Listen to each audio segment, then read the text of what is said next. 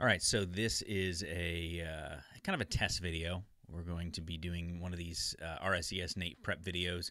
It's the first time I'm using this new setup for doing these presentations, with which uh, hopefully will be a little easier. I'm doing it from my home studio, so uh, new uh, new experience. But this is the world we live in today. But I wanted to definitely take a chance to talk about something that I do care a lot about, which is building construction, but specifically how that impacts uh, comfort in the homes and buildings that we work on. So RSES has these great uh, presentations. You can find them on their website, rses.org. You can also find out more about preparing for NATE at natex.org.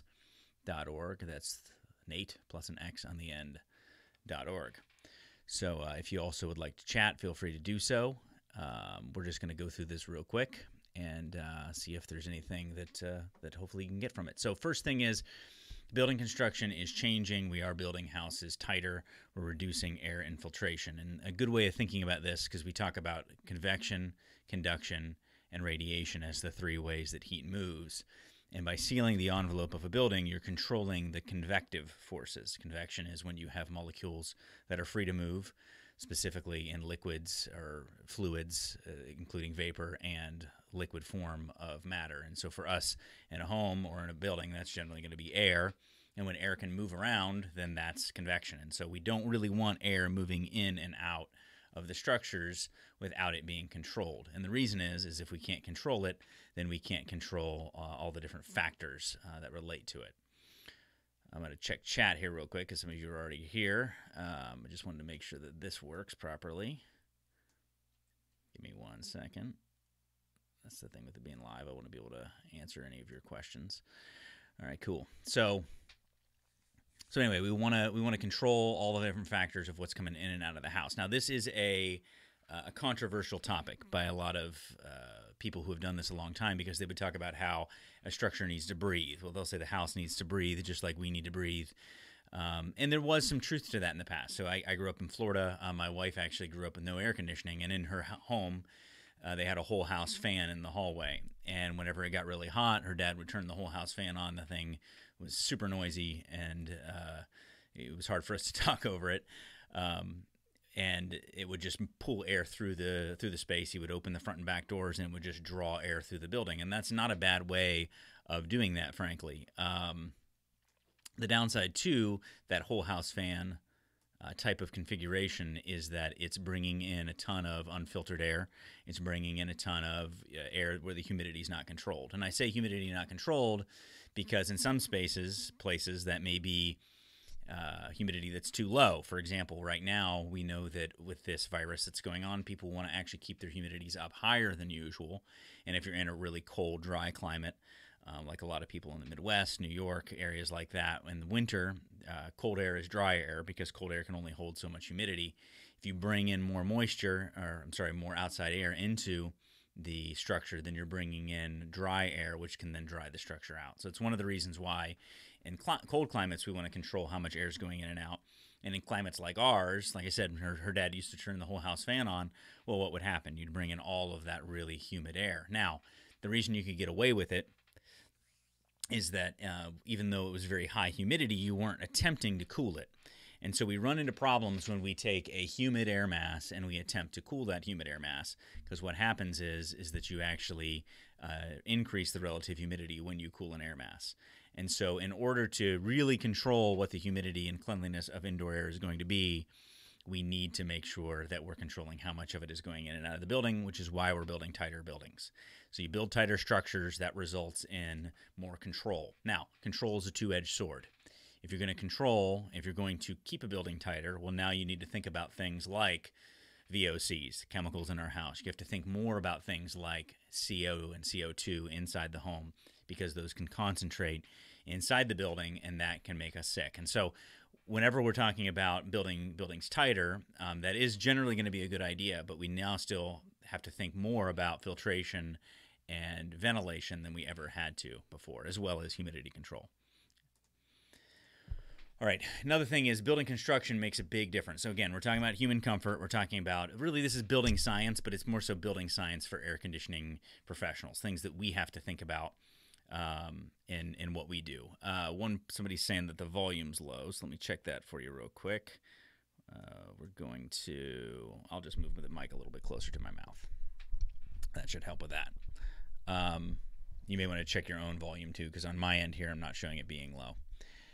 Um, so, in order to I- impact human comfort, we have to think about uh, the building itself and how the building is oriented. Now, you don't design air conditioning systems based on rules of thumb, like you know, like oh well, it's facing so and such and such a way, and so that's resulting in, uh, you know, we need to add more air or whatever the case may be.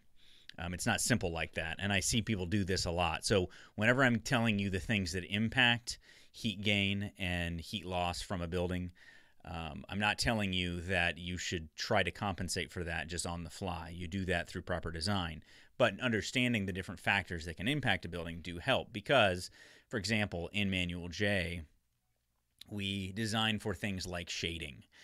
Well, shading is based on a percentage. It's based on how the sun moves across the horizon. It changes season to season, and a lot of that modeling software, like WrightSoft, does as good of a job as you're going to do. But the reality is, one one house varies from another house depending on you know the type of shade cover, what type of tree it is. All those sorts of factors matter. And so, thinking about the way that a building is constructed in real life is something that an AC technician should be able to assess. Um, good example of this is is my my dad's building a house right now, and I help design the AC, and he's built these really enormous porches. And so the porches help to shade the building and when you have the rising and setting sun from those solar gains. But in addition to that, uh, after we made the design, he changed some of his tree cover. So he added some trees in some areas, he removed some trees in some areas, and that's also going to impact the house. And we can't design for all of those factors. Of course, over time, the uh, the sun. Uh, somebody just said the sun is a hoax, and so that that made me laugh. Over time, shading changes, uh, and that's also going to affect uh, our comfort. So, overhangs, trees, hills, other buildings, screens, orientation. Um, from an orientation standpoint, the southern exposure is going to tend to get the most overall heat. And a lot of people will uh, say, well, what about the north or south? But it has to do with the way that the sun travels across the horizon. The south side uh, and the northern hemisphere still tends to get the most heat load. And of course, there can be some variation there, uh, but in general, that's how that works. And if you think about uh, stories like uh, the Underground Railroad, uh, Harriet Tubman was a good example of this, where she in order to try to find her way through the woods or in, instructed people, you would feel for moss on the north side of trees, and that would help you know that you were headed north because the north side of trees, the north side of buildings, that's where you tend to get more mildew and more moss and different types of fungus and growth. And the reason for that is is because the north side tends to have the lowest heat loads. So obviously, if you're trying to heat a building, the north side is going to be the most challenging. If you're trying to cool a building, the south side is going to be the most challenging. And then you also have to think about the way the sun moves across the horizon. So again, all pretty obvious things, but all things that sometimes we miss when we're thinking about human comfort in building construction. Next one, and this is one of my favorite topics, is moisture control. And it's one of my favorite topics because in Florida, moisture is just a major problem. Um, when you see that uh, that ugly growth that shows up on your duct sometimes, or around a vent or whatever, or around a, a duct in an attic, we call that a moisture problem. Because the reality is, a lot of the fungal growth, especially, which is a lot of what we see, I'm not going to use the uh, the M word here, but that growth that we see is often caused by a moisture problem. And how do we control moisture? Well, we control moisture through, you know, we learned this. Obviously, we're draining water outside. The air conditioner has to be working properly. You don't want surfaces to get too cold. But we also want to control the moisture that's generated inside the home. And we want to control the moisture that uh, is coming in from the outside of the home. So, a couple of these different things that you're looking at here is uh, uh, how we control moisture through things like, if you look up here, you know, vapor barriers, and then also things that are added from the inside of the home, like humidifiers, dishwashers, all that. So, uh, having good vapor barriers, having good windows and doors uh, with proper seals, those are all factors uh, that will help control the humidity as it as it enters the space. And then inside the home, think about things like uh, a dryer, for example. A dryer is a pretty significant source of moisture inside the home if it's not vented properly. You see a lot of those. Um, uh, those flexible dryer vents that people use, and a lot of times they'll be leaking. They're not connected properly, and if that's allowed to kind of spill into the laundry room, that's a big factor. Another big factor of moisture added inside the home is bath fans. If people aren't running their bath fans while they're taking showers and baths and then allowing them to run for quite a while afterwards in order to help vent that moisture, that's going to uh, be a contributing factor. Um, how often you run your uh, kitchen exhaust. Kitchen exhaust is a really big one for a lot of factors. Um, some people, you know, they'll boil a pot of water and they won't run the kitchen exhaust because they think, well, water doesn't smell. You still have that moisture uh, that that is leaving that that pot, obviously, that's going into the space. So you want to have a good quality kitchen hood. Um, my friend Joel Becker was talking to me recently. It was actually uh, right after the the Super Bowl. I'm a 49ers fan, so don't hold that against me and Joel was trying to talk to me about hood capture efficiency, and I just was having a hard time focusing because of that sad loss. But what he was talking to me about, which is a really good point, is that having a larger hood that naturally captures uh, the vapors as they leave the pot or you know condensate that sort of thing. Uh, because of its size is helpful because then you don't need to use as much wattage and move as much airflow. When you move less airflow, now you put your home under less negative pressure. Because another thing to think about when controlling moisture is think about whenever we're exhausting air out of the space. Uh, and, and, it's good to do, for example, with showers and with your kitchen exhaust, because those are very high moisture content points, and with your dryer. But whenever we're taking air and we're blowing it out of the space, we have to bring in the same amount of air into the space uh, in order to equalize those pressures. And so the thought that we're exhausting out, we're not bringing any in, is false. And so we don't want to exhaust more than we need to exhaust. We want to exhaust the right amount in order to get the moisture out, but we don't want to exhaust more than we need to. And that's where using larger capture hoods with less CFM of airflow. Uh, can be helpful to that end. And I thought that was just an interesting thing that he mentioned, uh, and I thought I'd bring it up here. Um, so, you know, it talks about here, you know, vapor barriers, that's a big one. And and a lot of people will say in the building science community, they'll say it's a it's actually a vapor uh, retarder uh, is a better phrase. So it slows down the movement of vapor into your house. Nothing is going to uh, completely stop it, um, or maybe there would be things, but that would probably cause more problems. So you do still want the ability for moisture to move through, but you want to impede that motion of moisture, and that's things that we use, like Tyvek would be a, a common product nowadays. A lot of people are using um, Zip System, which is actually treated plywood as their external sheathing, but things that just prevent that moisture from making it in make a lot of sense we do want to control, it says this here, we do want to control our relative humidity so that way we uh, make sure that uh, furnishings, wood trim, pianos, things like that that are sensitive to relative humidity aren't going to have problems. We ran into this at a big custom home where they were having all sorts of issues with crown molding, cracking, and coming apart and all that, and it was because they were having big moisture fluctuations. And so when you do something like you know construct a house initially, you need to control the relative humidity in the space, allow that wood to sit in the space and kind of acclimate, and then assemble it. If you assemble it while the house still has high relative humidity, still has high moisture content in it, and then you dry it out, a lot of times it's going to pull back and it's going to crack, it's going to break the seams, and all that sort of thing. Eric Mele says, uh, or just don't bathe, um, which I don't know exactly what that has to do with this, but thank you for your kind. Uh, kind addition to the conversation, Eric. Uh, another thing that Neil mentioned is duct leakage also leads to higher uh, indoor relative humidity. And that's one that maybe isn't always uh, super intuitive. Now, if we think of a return leakage in an attic or in a crawl space, that makes sense because we imagine that air being drawn in to the um, to the return and into the equipment and into the house because it's under negative pressure. But actually, supply side leakage also results in high relative humidity in the space. And the reason is is that when we're leaking air outside of the envelope, so some of the air that we're blowing through our duct system is going outside of the envelope. That means that um, uh, that means that your home is going under negative pressure, or the structure is going under negative pressure, and so it's going to draw more in from the outside. So duct leakage uh, outside of the envelope, meaning into an attic, into a crawl space, outside the home, those are all things you don't want because it creates this pressure imbalance. We really don't want to see pressure imbalances unless we absolutely have to. And we talked about this already um, in the case of a kitchen exhaust. We're accepting that we have to exhaust in order to get those vapors out. Uh, the VOCs from cooking and also the water vapor and all that. We don't really have a choice there. Um, but we just recognize we don't want to move more air out of that space than we absolutely have to. Otherwise, um, that will that will cause a problem. Eric Mele says you can't have duct leakage if you don't have ducts.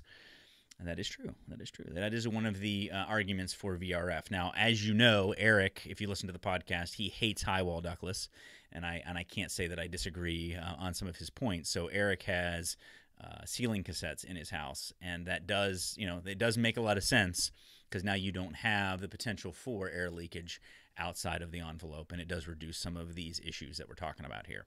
But controlling relative humidity is a really important factor in uh, comfort. Here we're talking about controlling moisture, keeping it from entering the home. Now let's talk about, let's say you're in a really dry climate. If you're in a really dry climate, uh, is that something that you uh, just want to take showers and cook food all the time and not exhaust it? I don't think so because that's localized high levels of moisture. You can still get fungal growth. You can still have VOCs and things from your cooking. Not something you maybe care as much about if you have a dry climate. But the best way to control the moisture in the home when you have a dry climate is to use a proper uh, properly installed, properly maintained dehumidifier or humidifier. Sorry, I always say dehumidifier because we're in Florida, but humidifier.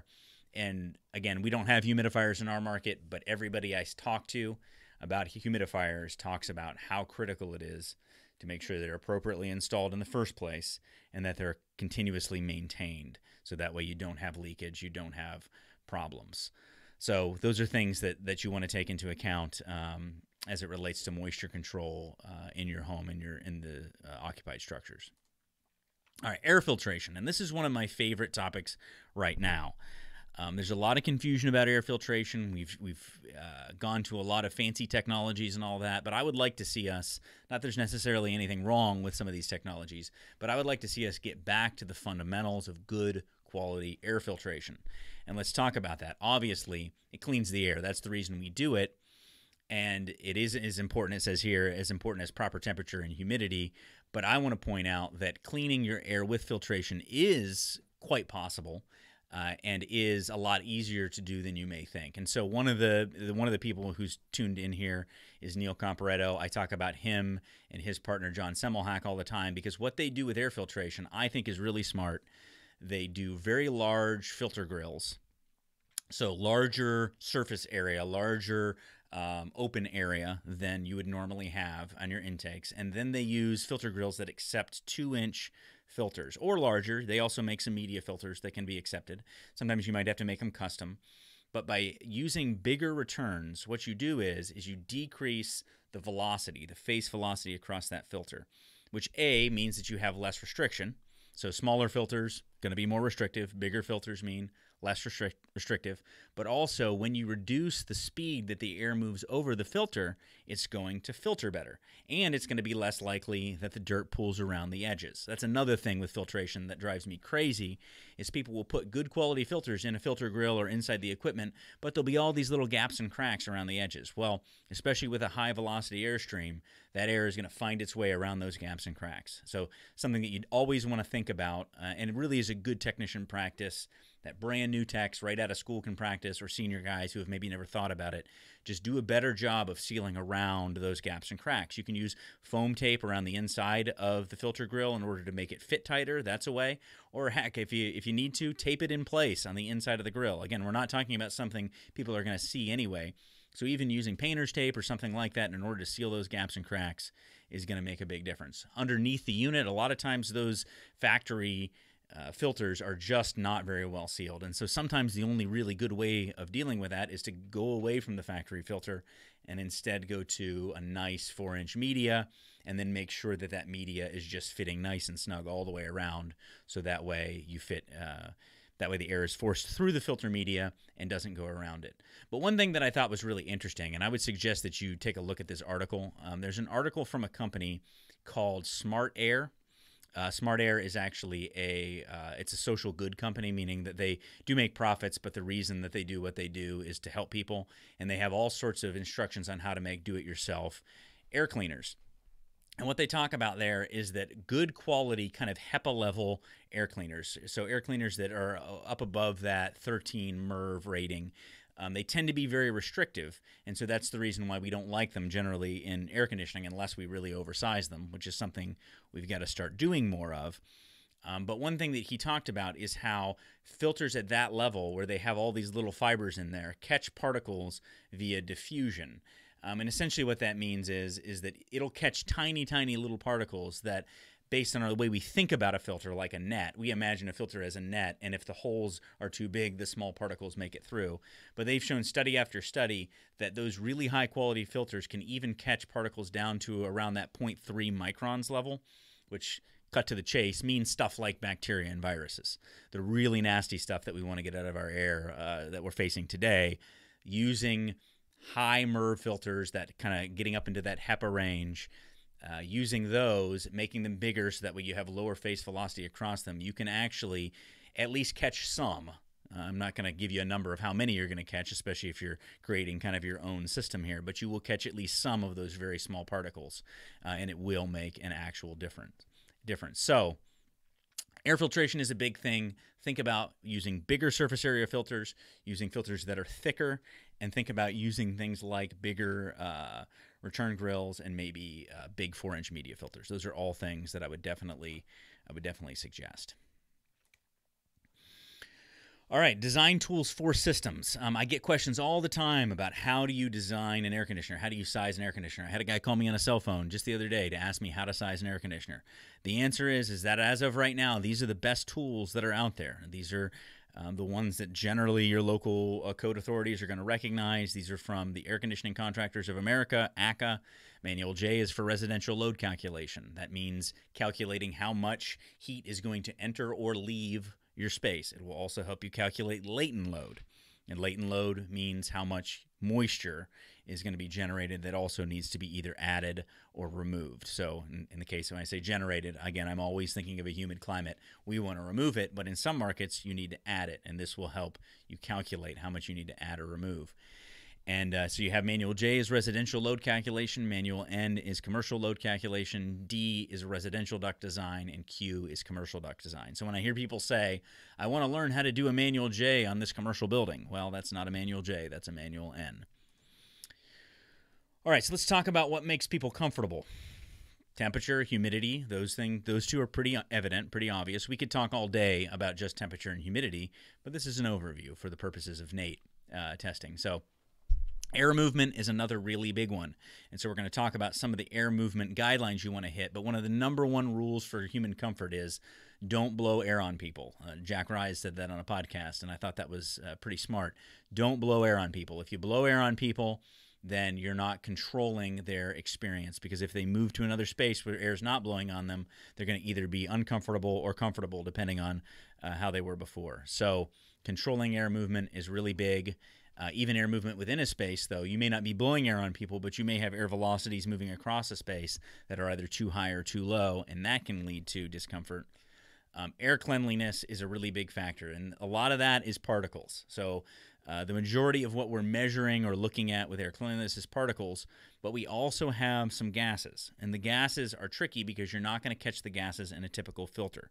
You can catch some uh, gases and VOCs in things like activated carbon charcoal, which I'm a huge fan of, by the way. I'm a massive uh, charcoal and carbon fan. I think we need to use more and more of it.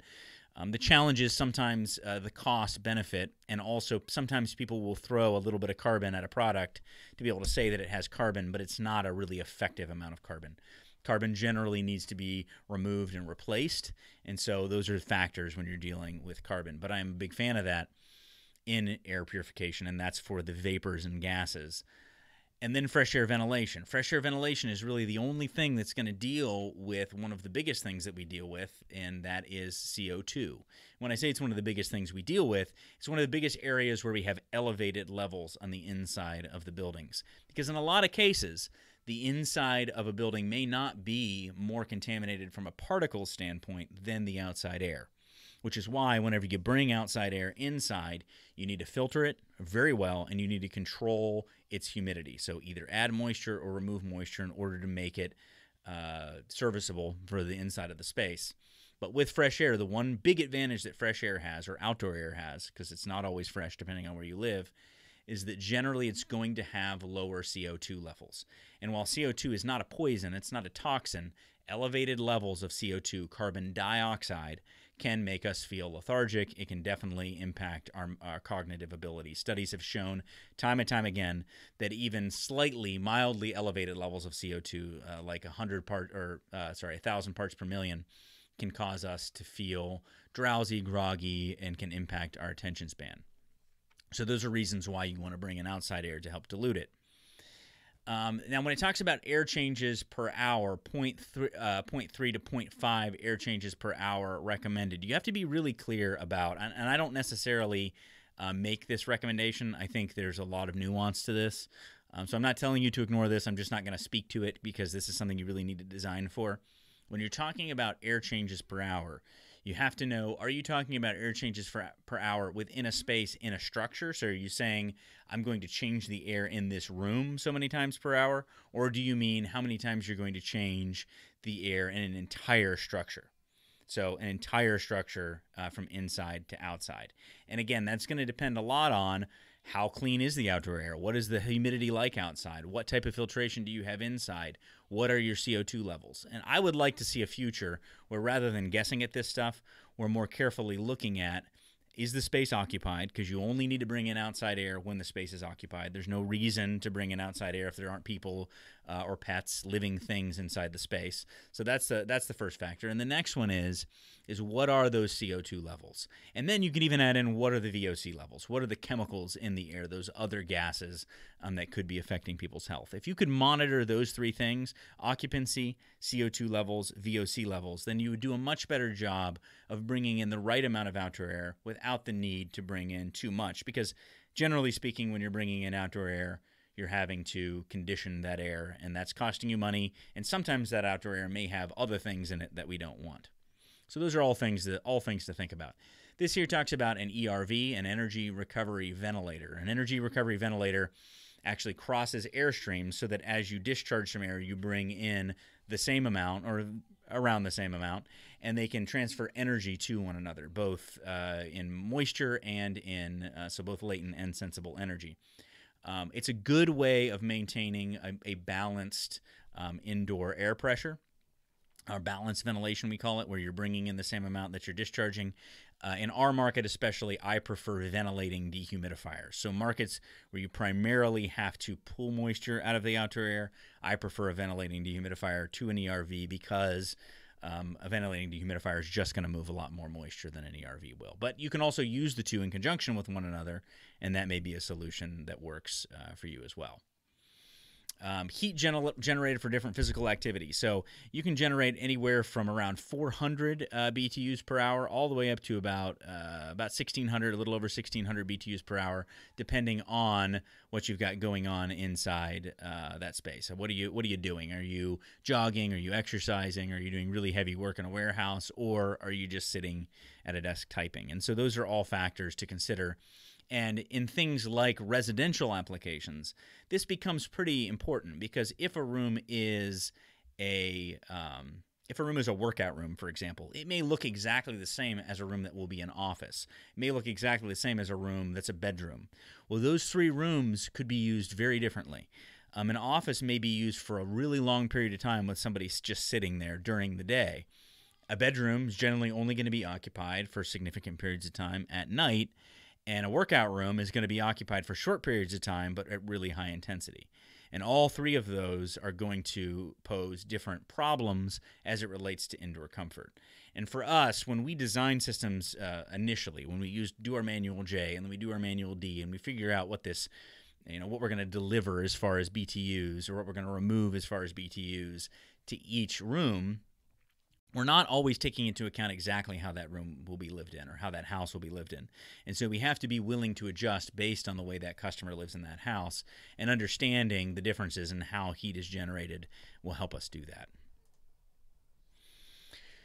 All right, so people generate different heat at different rates depending on activity and depending on size. I mean, a little kid is going to produce a lot less heat than uh, than you know, say for example, Joe Shearer. I mean, that guy's pushing about 400, so that guy's going to generate a lot more heat. I'm just kidding. Uh, that's not true of Joe. Uh, the next thing is people give up heat by radiation, convection, and evaporation. So, radiation is heat that can move through a vacuum, through the air, in between surfaces of different temperature. And so, if you have, so say for example, this wall that's on the other side of me, if this wall is colder than my body, my body will give up heat to that cold wall via radiation without even the need to heat the room in between. But so I'm going to give up heat to radiation. I'm going to give up heat to convection. That's when molecules are actually moving because air is always moving around us. So heat will move via convection. And then I'm also going to uh, move heat via evaporation. Now, evaporation isn't one of the main three ways of moving heat, but it is in human comfort a really big factor. And that relates to relative humidities. So if I have a space that has lower relative humidities, my sweat is going to evaporate at a higher rate and it's going to cool me more effectively. Which is, you know, we see this all the time. People go to um, uh, people go to Arizona and they'll use swamp coolers, which are essentially uh, evaporative coolers, adiabatic coolers, and they'll use those little things around your neck with the gel that help evaporate and keep you cool. Uh, and they'll say, well, it's hot, but it's a dry heat. Where you go to Florida, none of those things work because the relative humidity is so much higher. Your sweat just stays on you and drenches you. Evaporative coolers don't cool the air that much because you don't have as much of that evaporative effect. The one uh, form of, of moving heat that this doesn't talk about is conduction, because as humans, we don't move that much heat via conduction. That's the heat that's moved when you're touching something. So, one case where we do uh, move heat by, by conduction would be a case if we have a, a cooled seat in a car or a heated seat in a car. That's a case where we're directly in contact with a surface and we're able to transfer heat to and from that surface. All right, so this kind of shows you some different ways that uh, that heat is lost or gained, and this is just a this is just kind of a, a round numbers guess, uh, but for somebody who's in a room that's 70 degrees Fahrenheit with a relative humidity between 30 and 60 percent, um, it's showing here that evaporative loss are about 100 BTUs an hour, radiant loss is about 150 BTUs per hour, Convective loss is about 150 BTUs per hour. So this is a person just sitting there producing 400 BTUs per hour, which would be an adult um, sitting still doing office work, a, a normal sized adult. Um, let's see here. The thermal envelope. This is fancy building science talk. In building science, they talk about the envelope all the time, and that means the shell that separates the occupied space from the unoccupied space. So if you have an attic or something like that, or a, or a crawl space, that is uh, outside of the envelope if it's an unconditioned attic or an unconditioned crawl, crawl space. If it is a conditioned attic, then that would be what we would call inside the envelope. So the envelope involves everything that's conditioned. Everything outside of the envelope are the areas that are not conditioned. And controlling that thermal envelope is a really big part of controlling comfort. Uh, it says that insulation can reduce radiant heat loss and radiant heat gain, either way. And so that would mean that, as an example here in Florida, if we insulate the attic that's above me, and that attic is 130 degrees up there, but we insulate it so it keeps the surface temperature of this ceiling above me at a lower temperature, I'm going to gain less heat from radiant heat transfer because radiant transfers through an air gap based on temperature difference and proximity. So by keeping that surface cooler, that's going to keep me more comfortable. Also says wall surface temperatures are just important as important as room air temperature to occupant comfort. And you've all seen this. You've seen cases uh, if you're in a climate like ours where somebody works in an office all day and they sit near that window and they say they're uncomfortable even though it's 74 degrees inside that space all day or 72 degrees. It's the same temperature as the rest of the house in many cases but they feel uncomfortable because they're exposed to a hot wall and potentially a window. Those are those radiant gains that are impacting their comfort, and those are really, uh, really big factors. Um, it says that vertical uh, temperature difference uh, from 4 inches to 67 inches off the ground should not exceed 5 degrees Fahrenheit. And that's talking about um, thermal stack effect. You don't want to have cases where there's not enough air mixing that you have significant difference in temperature and strata in the room. You want to keep between 4 inches and 67 inches if you were to take a thermometer and measure through there. That's what we call the occupied zone. You shouldn't have more than a 5 degree difference in that area. So humidity impacts um, human comfort by impacting the rate of evaporation. We already talked about that. You have lower relative humidity, your body's going to be able to uh, give up more heat via sweat. And it's not just sweat like standing sweat on your arm. I think often when we think of sweat, we think I've got to be sweating, but we're constantly giving up uh, heat via evaporation, even if you don't see sweat on your body. Uh, as some people have said, we are very uh, moist uh, beings, we humans. That's a that's a gross word. Uh, humidity also affects the body's health in other ways. Static electricity is a problem at very low humidity, so people are uncomfortable. They start getting shocked when relative humidity gets too low. Um, flu viruses flourish in low humidity, and coronaviruses also flourish in low humidity. So we want to control and keep that relative humidity in a uh, in a good zone. Uh, and that good zone generally for dry climates in the winter is around 30%, maybe a little bit higher in some cases. And in uh, cooling climates, humid climates, we want to keep it below 55%. Some people will say 60 to 30, but it really depends on your particular situation. In the winter, in a dry climate, you're not going to get it much above 30 without running the risk of creating other moisture problems in your walls and things like that. So 30 is kind of your target. And in uh, hot, humid climates, 50 is pretty much your target. I would love to see homes uh, and commercial buildings it just set right at 50% relative humidity all the time. And then you can just control your your uh, sensible temperature you know somewhere between 75 and 72 you know in that or 78 i guess would maybe even be better but 78 to 72 in there and just keep that relative humidity around 50%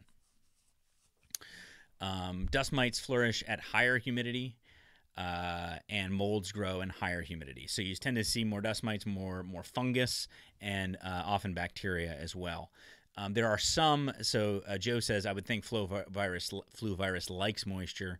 Um, no, it's not what you think. Viruses aren't how you think they are, and that's all it com- and that's all I'll say about that. I've been doing a lot of research. We often get viruses confused with bacteria and fungus. Fungus is the one that really likes moisture. So, what we see growing in most cases is fungus.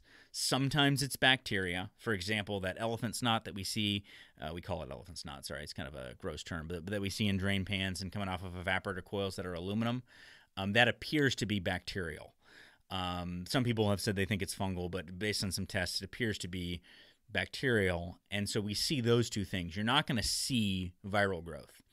Um, and flu and corona are both viruses. They're not bacteria or fungus. And so we have to get our head around that they, they operate differently.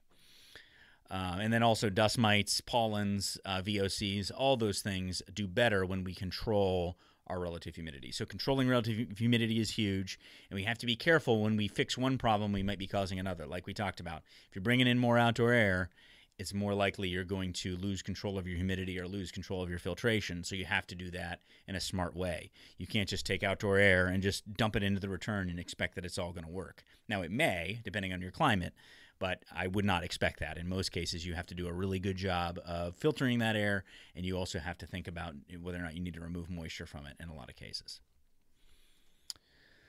Air movement. Uh, I like this little chart because this isn't something I think about a lot, um, but controlling air velocity within a space, within the space itself. So we talk a lot about duct velocity and face velocity, but within the space itself, we really want to see kind of controlling in between that 15 feet per minute and that 65 feet per minute. You get above 65, paper blows off of a desk. You get 160, that's when you're really uh, moving a little too much for people to feel comfortable. Um, natural convection occurs just from you know cold air sinking in warmer air and warm air floating in cooler air. I, I, one of my favorite questions, just to be kind of a jerk to people, is to ask them, "Does heat rise?" Um, no, heat does not rise. Hot air, or one hot substance, is buoyant in the same substance of a cooler temperature, which that just is a really nerdy jerky way of answering that question, but just think of it this way a hot air balloon rises because the air inside of it is lighter than the air around it. So the hotter air is floating in the cooler air. And in the same way, cooler air is sinking in warmer air. For some reason, my camera decided to stop focusing there. There we go. So that's it. Cold air sinks in warm air, warm air floats in hot air. And it's, it's buoyancy that we're dealing with with convection. Mechanical equipment creates force convection. Well, we kind of know that. Air movement within the occupied zone of a room should be maintained at an average velocity of 30 feet per minute in winter and 60 feet per minute in summer. And frankly, this is one I never remember, uh, but it is a good guideline. It kind of gives you sort of edges that you want to see. It's we want our velocity to be lower in the winter because in the winter we naturally are going to feel colder, and so by keeping the velocities lower, it's going to help us uh, feel uh, more comfortable. and 50 feet per minute in the summer. Again, we already talked about the occupied zone as far as height in the occupied zone, but the occupied zone of room extends from the floor up to six feet above the floor and to within two feet of the room's walls. So if you get within two feet of the room's walls, you're not expecting to control the temperature as well within two feet because that's not generally where people are going to be. They're generally not going to. Um, uh, they're generally not going to uh, be within two feet of the wall when they're occupying the space somebody just noticed that my hat's defective, that it says uh, HVAC backwards. Yes, it is a mirrored display, so that way I can be on this side showing you doing it this way, which is much more comfortable for me. So this is all about me. It's all about me and my comfort with my hat being reading backwards. And I am a CV, uh, a CAVH technician.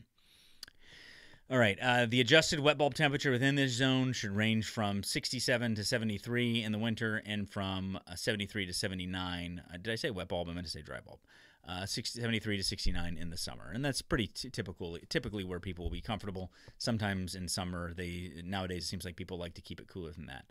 Another thing you can do is you can increase the uh, ventilation air in industrial applications and, and adjust the temperature, uh, so you can actually run it a little warmer uh, if you increase your air velocity. So that's why in industrial applications, sometimes they're going to run a little bit more airflow uh, and you can get away with it being a little warmer. Uh, Joe asks Brian, is it an old myth to have grills blowing at windows and across ceilings? Um, no, not necessarily. Um, so when you cool an exterior wall, you're also decreasing that radiant effect. So you do want to keep your uh, exterior surfaces from getting too warm or too cool, and that's sort of the that's why you had old radiators on the exterior walls. And blowing across the ceiling uh, is useful because you get more throw because of the Coanda effect, or Coanda, however you say that. But the air travels across the ceiling. It actually creates a negative pressure area uh, above the high pressure air, and so it allows the air to throw further across the room. So I don't think anybody's saying that that's a uh, that that's a myth. It's just that sometimes. Uh, it may not make as big of a difference as people want to believe it does. And it's like a lot of things. I would say um, there are there are things that are good practices, but sometimes it's not worth it. It's not worth the other costs to apply it, especially as we get to lower and lower velocity airstreams. So as we're running less and less air around buildings, um, we're going to get less and less of that sort of effect.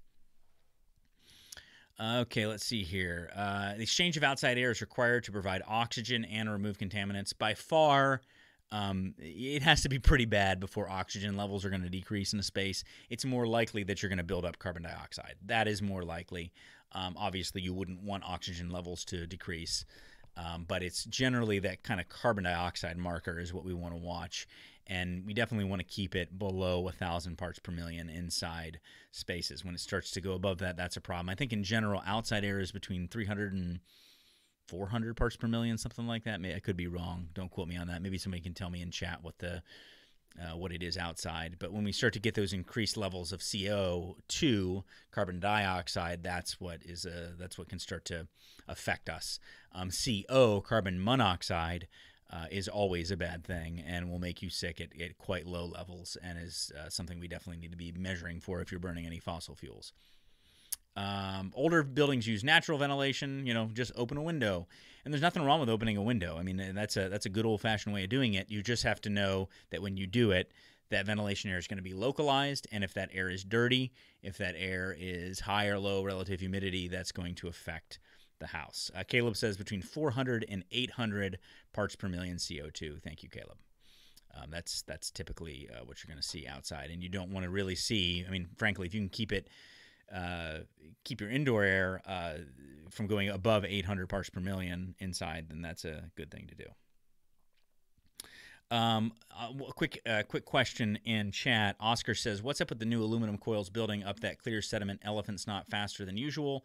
Is that correlated with the humidity?" Um, no, probably not, because uh, most coils are going to get below dew point. So most coils are going to have moisture on them. Obviously, if you're in a more humid climate, it's probably more likely that you would have more of it because you have more condensate. Um, but no, the elephant snot is clearly associated with the fact that aluminum does not have nearly the uh, antifungal and antibacterial and antiviral properties that copper has. Um, copper is a known, copper and brass are known to produce ions that attack and kill um, fungus, bacteria, and um, viruses. And so when we went to all aluminum, aluminum doesn't have the same properties, and so it's not attacking that stuff and it's building up quicker. Um, it's kind of an unintended consequence of going to aluminum, and it is a it is a real problem. Um, now, what we do, and when we have problems with it, is we'll take pieces of copper, pound it flat, and then stick some pieces of copper in the drain pan. And that it's not a full solution because it doesn't solve it at the coil level, but it can help uh, deal with that. Some people have said pennies. Pennies have zinc, are mostly made of zinc nowadays, which can have some. I think I think zinc has some uh, antibacterial properties as well, but copper is well known. Um, you can also use a, a, little bit of 15% rod too. A little bit of that silver. Silver is also uh, antibacterial. So those are some things to try.